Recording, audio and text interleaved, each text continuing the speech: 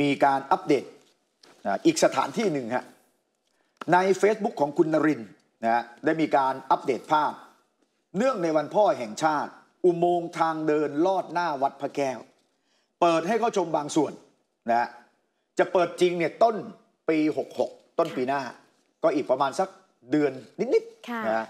นี่อีกนี่คืออุโมงค์ใหญ่ไงคุณใหญ่อืมอุโมงค์ที่มาจากท่าช้างเนี่ยเปิดค่ะแล้ว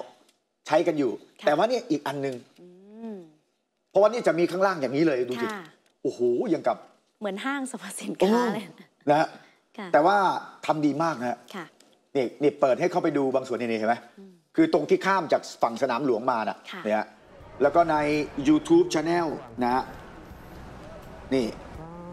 อะ YouTube Channel ของคำชวน นะฮะได้มีการพารีวิวฮะเมื่อวานนี้ฮะนี่เพิ่งอัปเดตสดๆร้อนๆเนี่ยฮะนะใครสนใจไปดูฉบับเต็มได้ตามช่องทางที่อยู่บนบนบนขวานะฮะค่ะไปดูสิโอ้โหนี่เปิดให้เข้าไปชมพิเศษนะเมื่อวานนี้ฮะค่ะแต่ว่ายังไม่ได้เปิด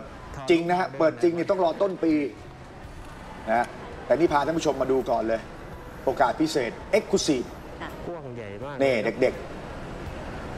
หอบลูกจูงหลานไปเดินดูกันเมื่อวานนี้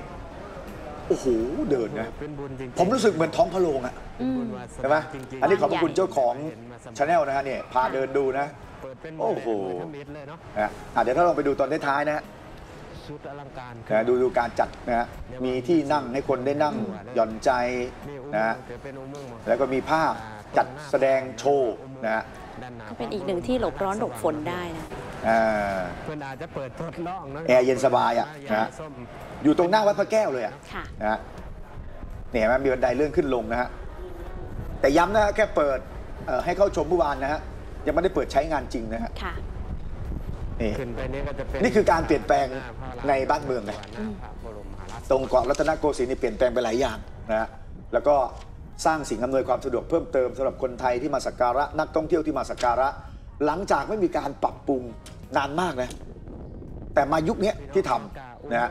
นี่ทางเดินลอดใต้ดินเพื่อความปลอดภัยค่ะนะพื้นฮะผิวจราจรก็ตีเส้นใหม่ด้วยนะคะอืมแล้วก็มีการจัดระบบการจราจรบริเวณโดยรอบด้วยครับเพื่อนค่ะก็จะปิดนะฮะอะใครอยากดูฉบับเต็มไปดูได้นะฮะในแอคเคาท์ยูทูบข้างบนนะฮะพระบรม